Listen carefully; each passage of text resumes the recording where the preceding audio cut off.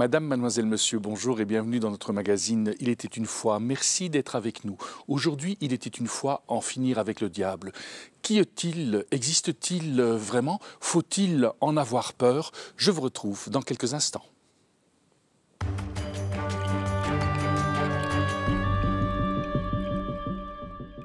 Paul Scolas, euh, Francis Gossens, bonjour et merci d'avoir accepté notre invitation. Paul Scolas, vous êtes théologien, Francis Gossens, vous êtes prêtre et membre de l'équipe des exorcistes du Brabant Wallon. Mais pour entrer dans le thème de ce magazine, je vous invite à regarder ensemble euh, cette brève histoire du diable. Il est partout, et surtout là où on l'attend le moins. Il est même devenu un personnage familier qui ne fait plus vraiment peur. Mieux encore, la pub s'en est emparée pour tenter les consommateurs. Tour à tour baptisé Belzébuth, Satan, le malin ou encore le prince des ténèbres, le diable que l'on imaginait vaincu est revenu en force dans notre monde moderne. Satan, son nom dérive d'un verbe hébreu qui signifie s'opposer. Est-il alors un ange déchu qui a bravé Dieu pour devenir son adversaire ou est-il simplement une créature malfaisante et tentatrice? Au fil des siècles, les théologiens en ont donné des interprétations les plus variées. Mais l'image retenue par le grand public est certainement ce serpent de la Genèse qui fait goûter aux hommes le fruit défendu. Dans le Nouveau Testament, il sera encore bien là, dans un combat singulier avec le Christ cette fois. Très vite, les prédicateurs vont utiliser son image malfaisante pour terrifier leurs ouailles. L'enfer devient alors le lieu de la punition ultime. Sous terre, les pécheurs vont subir les pires tortures et les damnés brûleront éternellement. À la fin du Moyen Âge, la croyance au diable atteint des proportions sans pareilles. Satan lance ses offensives avec des alliés de poids, les sorcières. Pour ces femmes guérisseuses ou magiciennes accusées de pacte avec le diable, la chasse commence. C'est la grande épuration.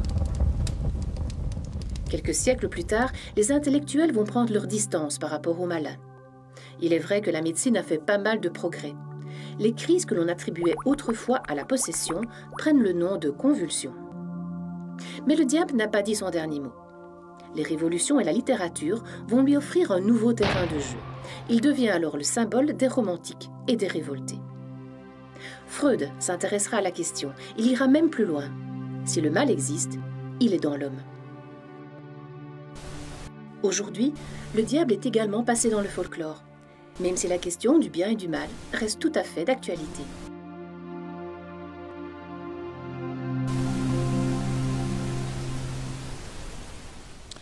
Satan, Belzéboul, démon, diable, tentateur, serpent. Euh, Paul Scolas, qui est le diable? Est-ce qu'il faut poser la question en termes de qui?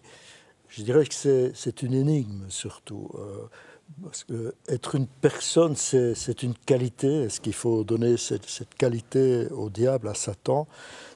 Vous venez d'évoquer qu'il y a on l'a évoqué dans la séquence, beaucoup de noms, beaucoup de représentations différentes. Et la première dans la Bible, euh, c'est le serpent. On ne dit pas que c'est le diable, d'ailleurs, on n'emploie pas ce terme-là.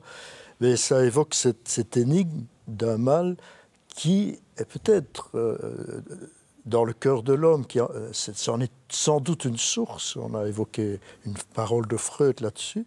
Mais en même temps, il y a cette expérience qui, me paraît quand même respectable que le mal déborde, l'homme vient pour une part d'ailleurs, que l'homme est tenté. C'est justement cette représentation de la jeunesse, c'est une tentation. Et alors il y a ce, démon serpent énigme, comme disent certains, euh, qui, euh, qui est à la fois posé comme une créature de Dieu, donc Dieu est au-dessus. Alors là, ça pose des tas de questions. Alors quelle est la responsabilité de Dieu? Mais je ne vais pas me lancer là-dedans et qui alors surtout tente en pervertissant la parole de Dieu. Ça c'est assez remarquable. Ah, euh, il ne dit pas tellement de manger le fruit que de dire euh, euh, Dieu en fait n'a pas voulu que vous soyez Dieu et moi je vais vous dire comment vous pouvez devenir comme des dieux. c'est vraiment ça l'enjeu et il me semble que ça ça reprend vraiment tout. Dans les tentations de Jésus au désert c'est la même affaire. Si tu es le fils de Dieu, voilà comment on est fils de Dieu. Et c'est toujours en dominant en prenant. Ah, euh, il, y a, toujours cela, alors que, toute, la, euh, toute la dynamique de la Bible, c'est un don de Dieu euh, qui, qui, donne à l'homme d'être grand, d'être à la ressemblance de Dieu, d'être fils de Dieu, etc.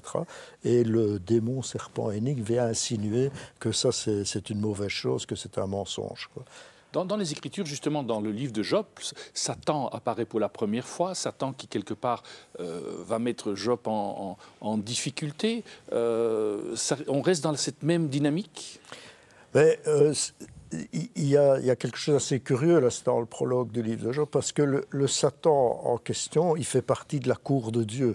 Il, y a quelque chose, et c'est quand même assez différent. Peut-être peut-être euh, dans ce début-là, peut-être moins profond que dans la Genèse, parce qu'il y a presque un jeu avec Dieu.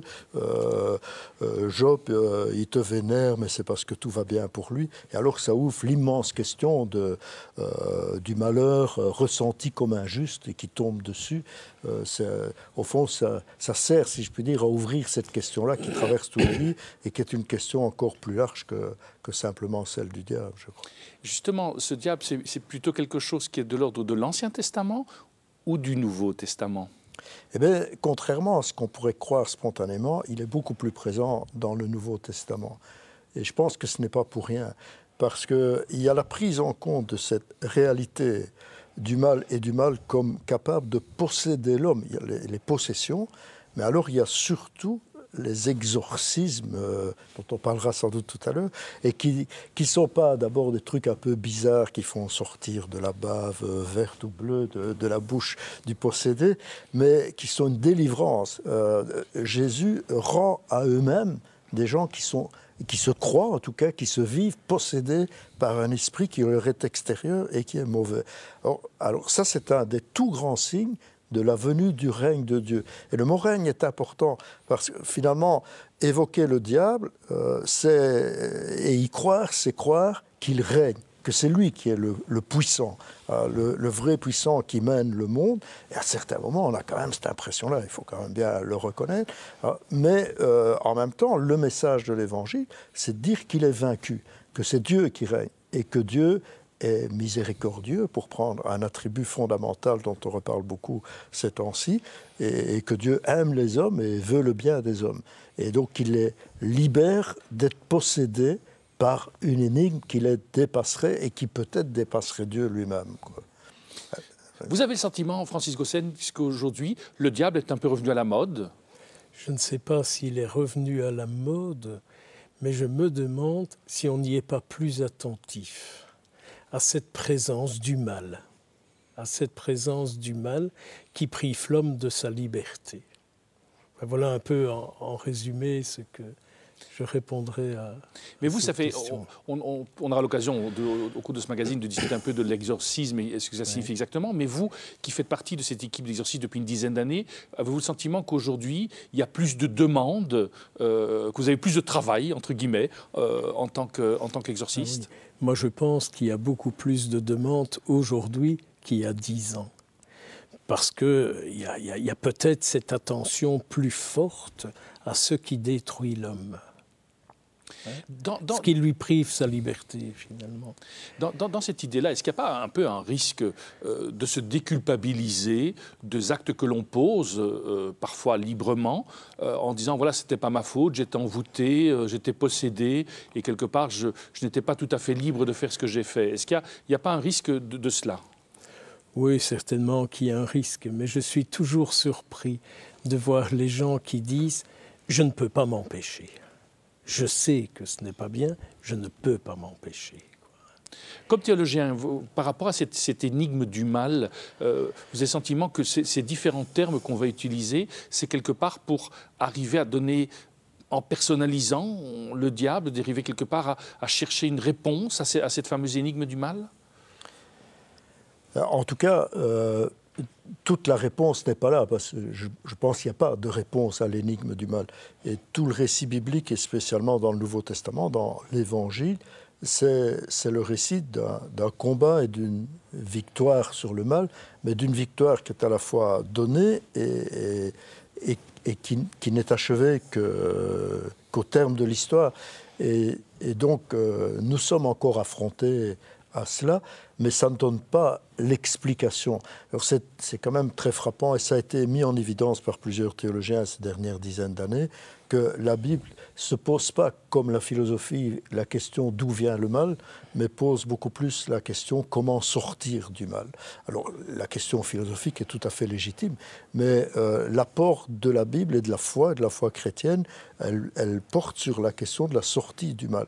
Alors la prière que Jésus donne à ses disciples, elle se termine par délivre-nous du mal beaucoup d'exégètes disent que c'est le malin qui est évoqué là-bas, mais c'est dans une demande de délivrance.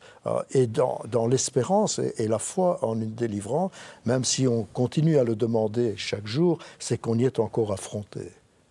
Vous avez le sentiment aujourd'hui que euh, cette question, cette thématique-là du, diable euh, fait, partie, euh, revient dans les facultés de théologie C'est un débat entre théologiens je ne suis pas certain que ce soit intensément présent, mais on, redécouvre en tout cas que la question du mal et dans les différentes formes euh, que, ça a eu à travers la tradition, c'est une question inévacuable. Hein.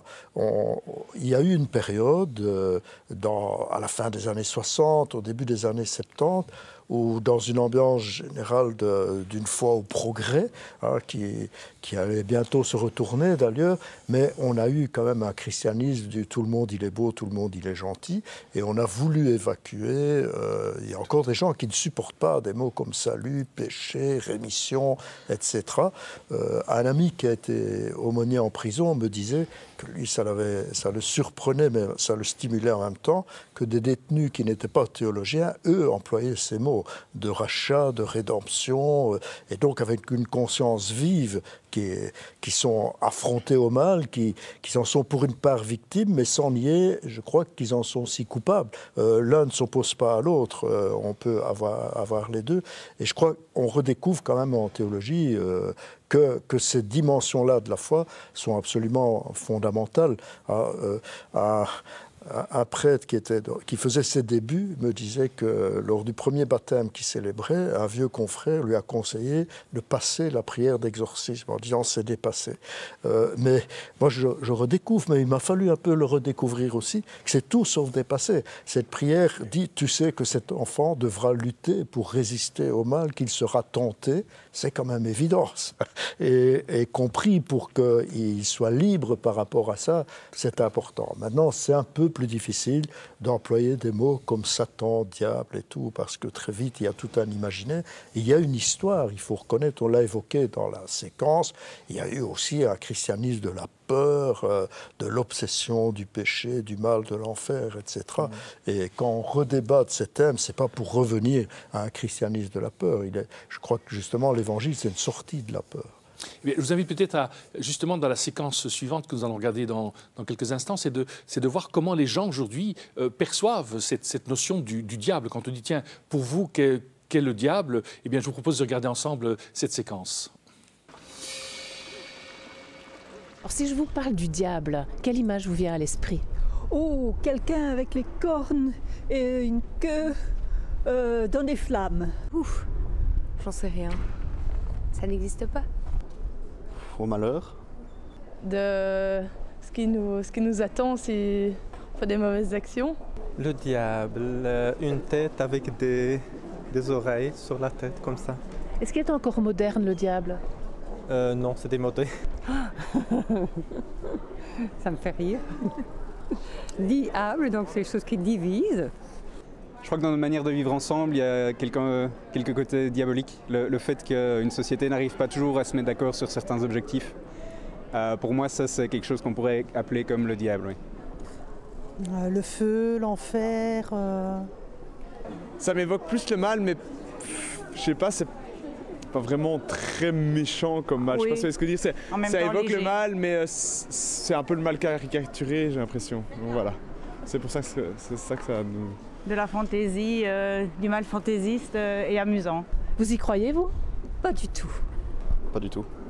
Bah, étant euh, élevé dans une famille protestante, inévitablement, on a une notion à ce niveau-là maintenant, pas le personnage en soi.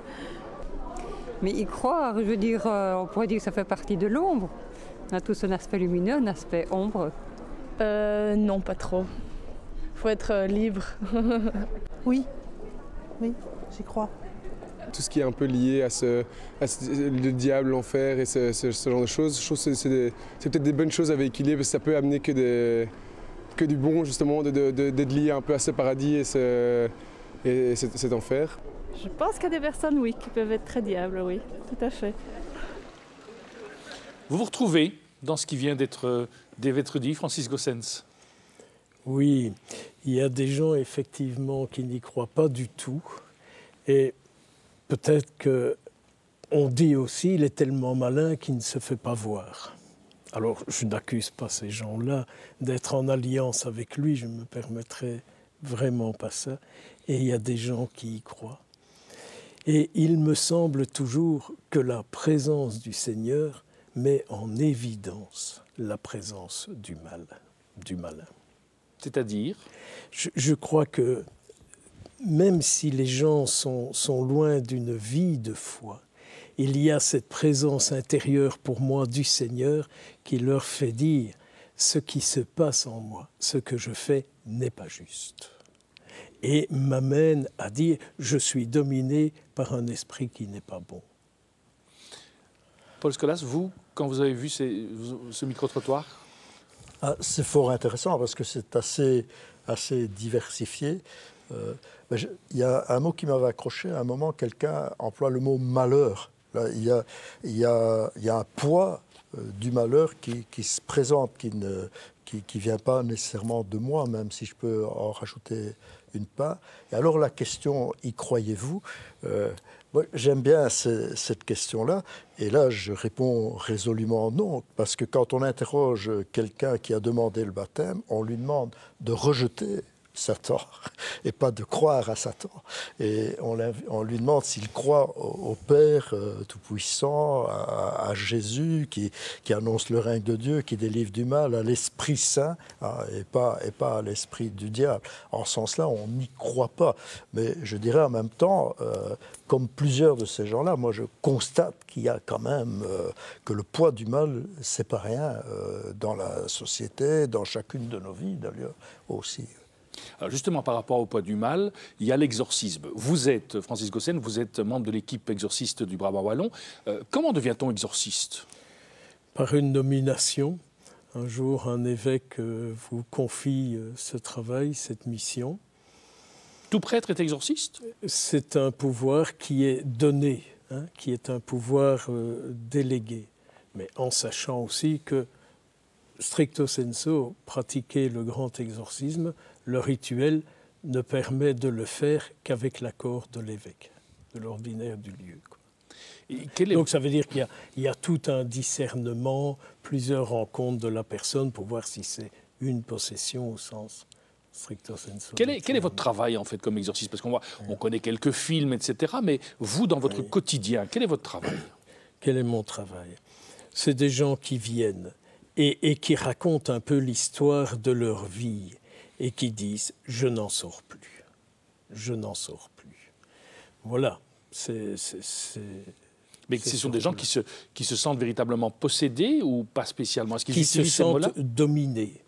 On peut être dominé par un esprit de mort. Hein on peut être dominé. Je pense à quelqu'un, vous racontant ça, qui, qui était très pris par un esprit de mort, mais on a mis du temps à se rendre compte que son alliance était là contre sa volonté, mais il avait vécu dans un tel contexte, dans une telle ambiance, que c'est cet esprit-là qui, qui dominait toute sa vie, et donc c'était d'échec en échec. Hein et donc, lorsqu'on a pu mettre ça en lumière et, et, le délivrer de cet esprit, ce cher monsieur fait sa vie comme vous et moi. C'est un, travail, un travail thérapeutique, d'une certaine manière Est-ce qu'il y, a beaucoup d'écoute dans, votre, dans votre travail? Il y a beaucoup d'écoute et de remise en alliance avec le Seigneur. Parce que souvent, les, les gens ont perdu cette vie d'alliance avec le Seigneur. Et ils sont souvent dans, dans plutôt de, de la formule. Ils disent des prières, ils aiment de dire des prières et donc dans notre travail, c'est les amener à vivre la prière qu'ils proclament et qu'ils disent. Donc lorsqu'on fait une prière de délivrance sur quelqu'un, je leur dis souvent, moi je ne suis pas un magicien, hein, ce n'est pas moi, c'est l'Église, c'est au nom de l'Église que je fais cette prière et je vous invite à la vivre le plus intensément possible, maintenant, demain, après-demain et tous les jours de votre vie, hein, pour garder cette vie d'union avec le Seigneur. Mais est-ce qu'il y a, est-ce que vous utilisez des objets? Est-ce que vous travaillez avec de l'eau bénite Est-ce que euh, ça se passe comment? C'est ça. Donc euh, souvent, je ramène les gens à une profession de foi, comme ça a été dit là. Refaire la profession de foi du baptême, ben, c'est renoncer au mal, c'est renoncer à Satan, c'est renoncer à ses œuvres, et dire maintenant ma vie, je l'enracine dans le credo. Je crois, je crois, je crois. Donc on ramène les gens à ça. Et alors, ce que j'aime aussi beaucoup de pratiquer sur les gens, c'est la séquence du Saint-Esprit. Hein. Viens, Esprit Saint, dans le cœur de ce fidèle euh, qui est là devant toi, éclaire-le, retrouve toutes les étapes de sa vie. Et alors, une prière de délivrance qui est, comment dire, liée tout le mal que j'ai pu discerner lié à la croix du Christ. Vous avez déjà eu l'expérience ou le sentiment d'avoir dû combattre vous-même euh, ce mal, ce diable dans, dans l'exorcisme que vous pratiquez? C'est Parfois c'est très difficile parce que les gens viennent et refusent leur réalité ils refusent d'arrêter certaines pratiques dans lesquelles ils se sont enfoncés. Et notamment aujourd'hui la magie, l'horoscope, euh, le, tarot, enfin un peu toutes ces choses-là, où les gens sont tellement anxieux qu'ils veulent connaître leur avenir, qu'ils veulent savoir ceci, cela, alors ils vont chipoter là-dedans. Alors les ramener en disant mais peut-être que vous devriez réapprendre à vivre de l'esprit du Seigneur, et rien que de cet esprit-là, et pas les chipoter de l'autre côté. Ça, c'est parfois un peu difficile.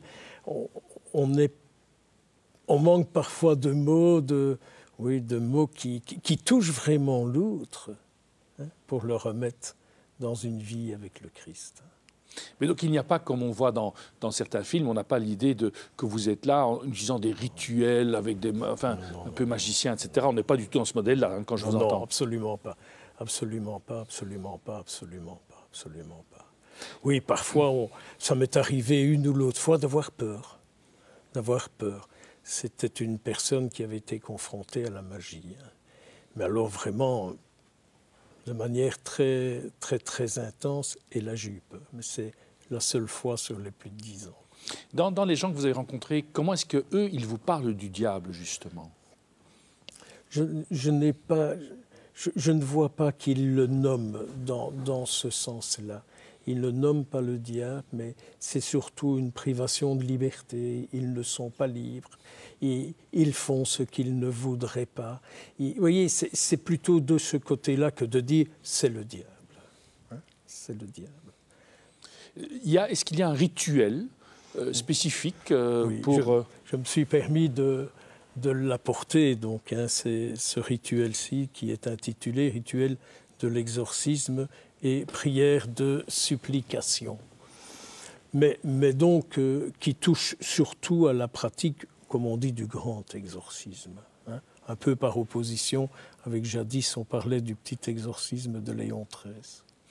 Vous, avez, vous avez par exemple déjà, vous, Paul Scolas, euh, invité des gens à aller voir un exorciste dans votre pastoral? Vous avez été confronté à cette réalité? Non, j'avoue, non. Euh, non, j'ai déjà eu des, des demandes. Euh, bon, je pense une fois à un voisin qui entendait des bruits dans sa maison.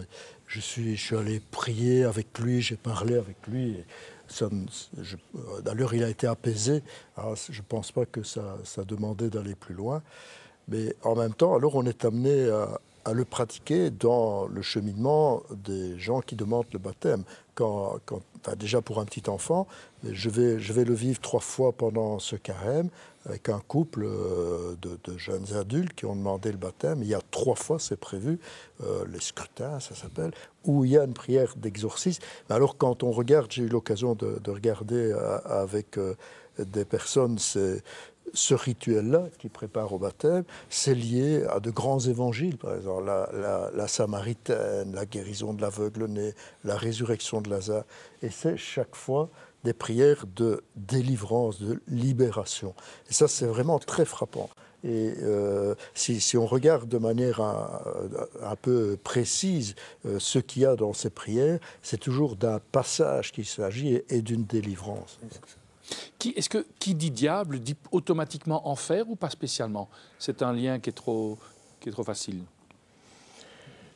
Moi, je pense que l'enfer, c'est un enfermement Hein, et les gens sont enfermés dans quelque chose et ne savent plus s'en sortir. Enfin, moi, je dirais ça. Hein, par rapport au diable, à l'enfer, l'enfer, un enfermement, une prison, je ne sais plus m'en sortir. Alors il y a Internet, la pornographie et, mhm. tout ce que nous savons. Je, ne mettrai pas un lien trop, trop direct, parce qu'il il me semble quand même qu'on peut dire que la damnation, finalement la, séparation définitive de Dieu, ça relève quand même d'une décision personnelle. Et si on laisse ouverte l'hypothèse de, l'enfer, c'est pour respecter euh, le, fait qu'on est libre devant Dieu. Et donc euh, là, je n'imagine pas qu'on soit mis dans la damnation, dans l'enfer, parce qu'un diable viendrait vous prendre avec sa fourche et vous mettrait contre votre volonté dans l'enfer. Moi, je ne lirai pas trop les deux. Justement, ces, représentations qu'on a comme ça du diable de manière un peu, on aussi, hein, de manière un peu humoristique, c'est quoi? C'est un moyen de dépasser sa peur de se dire, voilà, on ne sait pas très bien, il y a un mystère là, et donc euh, on le ridiculise un peu pour être un peu plus à l'aise avec ça?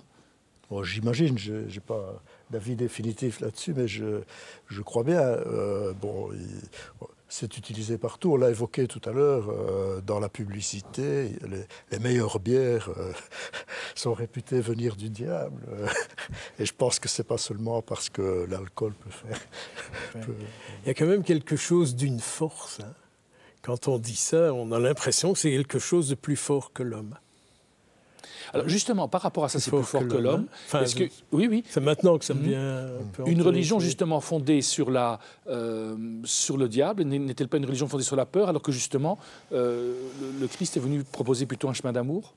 Oui, mais euh, la religion, en tout cas chrétienne, mais j'imagine que d'autres aussi, ne peut pas être fondée sur le diable.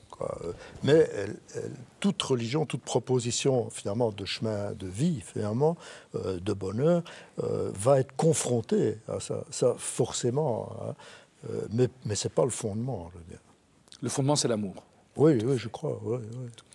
Merci en tout cas à tous les deux d'avoir pris le temps euh, de nous exposer un petit peu et de nous aider à comprendre cette notion du diable. Nous arrivons déjà au terme de notre magazine. Merci d'être resté avec nous. Si vous souhaitez revoir cette émission, il est possible de le faire en allant sur notre site euh, catobel.be.